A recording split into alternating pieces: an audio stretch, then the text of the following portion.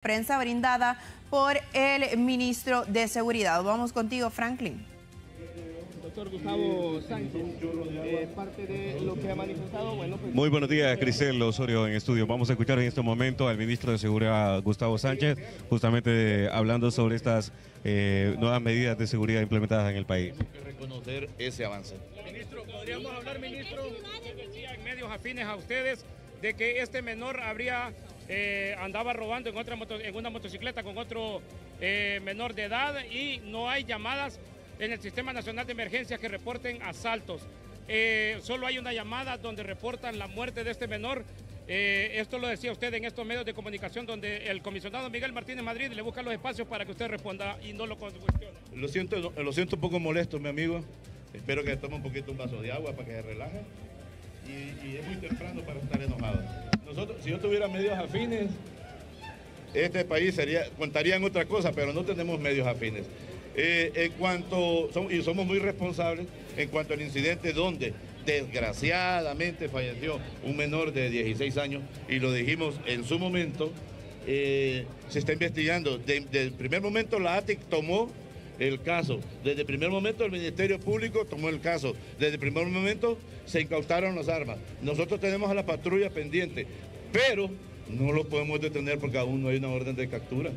Así trabaja el país. Ese es el marco jurídico nacional y siempre ha sido así. Pero con este nuevo plan, ministro, se garantiza que estos hechos no vayan a ser, eh, se van a repetir con este nuevo plan. Mire, son hechos lamentables.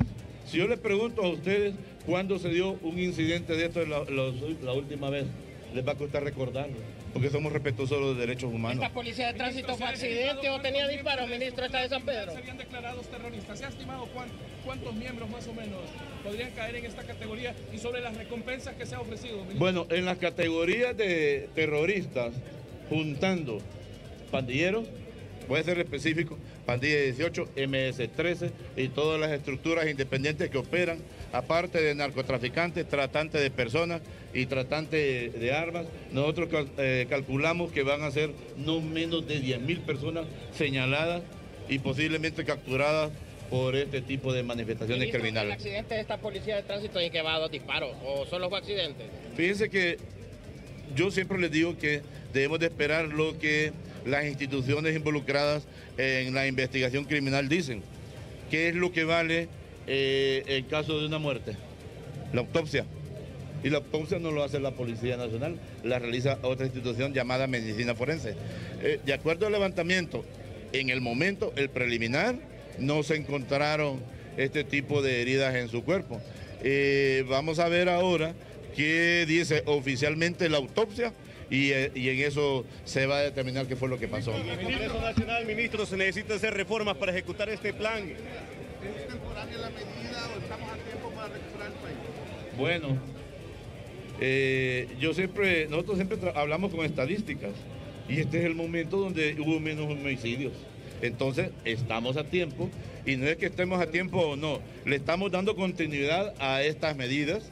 Lo que pasa es que ahora estamos en un gobierno democrático y se debate de manera eh, tranquila y sin ningún tipo de coacción eh, estos temas. Antes no se debatían. Yo me recuerdo cuando Tony Hernández vino de Estados Unidos y les dijo a ustedes, voy a hablar, voy a hablar de este tema por una única vez. Nadie le preguntó nada. Y miren a mí todas las preguntas que me hacen sin ningún problema. Estamos en un gobierno democrático. ¿Va a haber aumento de la policía, Ministro, eh, ¿Va a en el Congreso aumento? Nacional se necesitan hacer algunas reformas. La cuestión política, la oposición que hay aquí puede ser un obstáculo para la ejecución de este plan, como lo tienen ustedes. Bueno, no- nosotros no, no nos podemos eh, referir a eso. Lo que yo puedo decir es lo siguiente. Eh, estas reformas ocupan solamente de mayoría simple. Eh, todas las bancadas, cuando nosotros hemos comparecido y ustedes están de testigos, siempre dicen que, le- que se le- les preocupa el bienestar de la sociedad hondureña. Siempre nos dijeron que querían las medidas tipo Bukele. Bueno, ahora estas medidas se van a aprobar por unanimidad. Este es un ¿Va plan a haber Bukele, aumento de sueldo, este ministro? plan ¿Va a haber Bukele aumento de sueldo? No, este es el plan Xiomara Castro.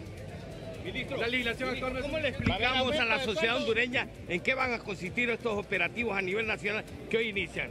Bueno, eh, lo, lo- lo hicimos, es en todo Honduras, lo hicimos en la cadena nacional, se repitió dos veces más, Eh, estamos compareciendo con ustedes y gracias a, esa facilidad que nos dan ustedes para transmitir esto al pueblo hondureño.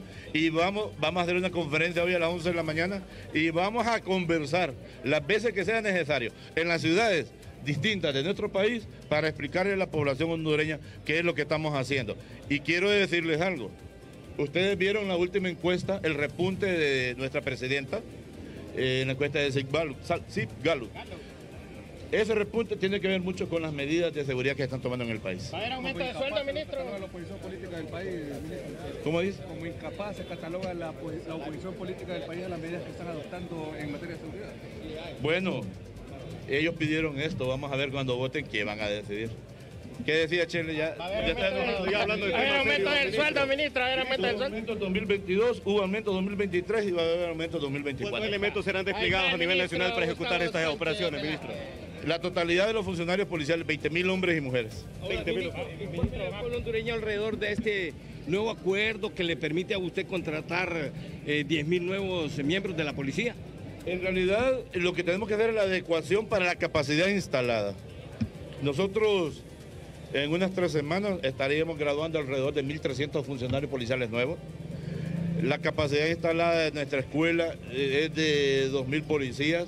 Vamos a doblar esa capacidad instalada para que siguiendo eh, la estrategia que se implementó eh, con la ayuda del Banco Interamericano de Desarrollo y, y- y el proyecto de fortalecimiento institucional de la Policía Nacional para ampliar el número de funcionarios policiales en formación.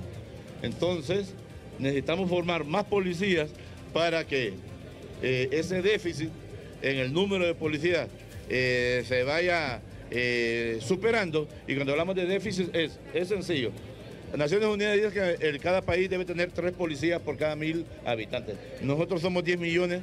La, la operación es, es muy fácil. Ocupamos 30 mil policías en Honduras para cumplir nuestras funciones. Y tenemos 20 mil. Entonces necesitamos aumentar en los próximos dos años ese, ese número de funcionarios policiales. Y más o menos tienen ya diseñado una estrategia para caer directamente a los cabecillas de estos grupos criminales. Ministro, perdonen que le haga esta pregunta, pero es necesaria eh, la colaboración de la población hondureña. Pues sí, eh, ya tenemos la estrategia, pero recordemos, ahorita podemos hacer, podemos hacer un tipo de captura, que es la captura de flagrancia con expediente investigativo o con orden de captura. Cuando entre en vigencia, que va a ser en los próximos 60 días, eh, el tema de el tema de, de la calificación como terroristas, se van a obtener muchos mejores resultados. ¿No habían capturado ustedes estas personas que dicen de que conocen dónde están los narcos y dónde están los jefes de las pandillas? ¿Por qué no lo habían hecho? Lo que acabo de decir ahorita, ocupamos los 60 días para que se cataloguen como terroristas. Ministro, ¿cuántas, eh, eh, ¿cuántos militares y cuántos policías nuevos para, y para en cuánto tiempo se verá esto? Eh, en el caso de la Policía Nacional son 10.000, Fuerzas Armadas creo que son 10.000 en los próximos dos años.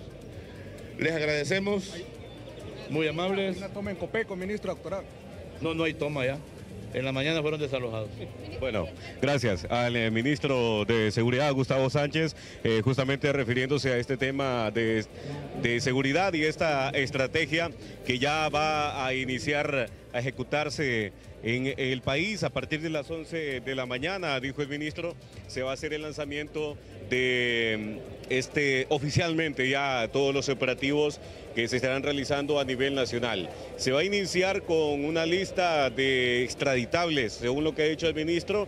Él estará dando algunos detalles de quiénes se tratan, cuáles son los delitos que se les está acusando y en qué corte de Estados Unidos se estarán eh, enviando a estos individuos, a estos supuestos narcotraficantes hondureños. Mientras tanto, en el Congreso Nacional, como una muestra de la fuerza del cuerpo armado en Honduras, hay un gran contingente de miembros de- del ejército de Honduras, militares, y también eh, hay un buen número de policías.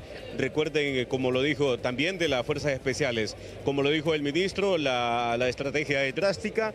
Todo el cuerpo policial armado y las Fuerzas Armadas de Honduras estarán pues actuando contra el crimen organizado. Estamos hablando de al menos 20 mil elementos que estarían siendo desplegados a nivel nacional tras la pista de estos eh, delincuentes que ya los tienen previamente identificados. Gabriel y Cristel en estudios, esta es la información que les tenemos a esta hora de la mañana desde los bajos del Congreso Nacional.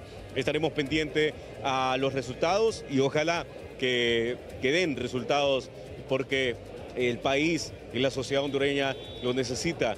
eh, medidas drásticas contra la criminalidad. Con ustedes a estudio, buenos días.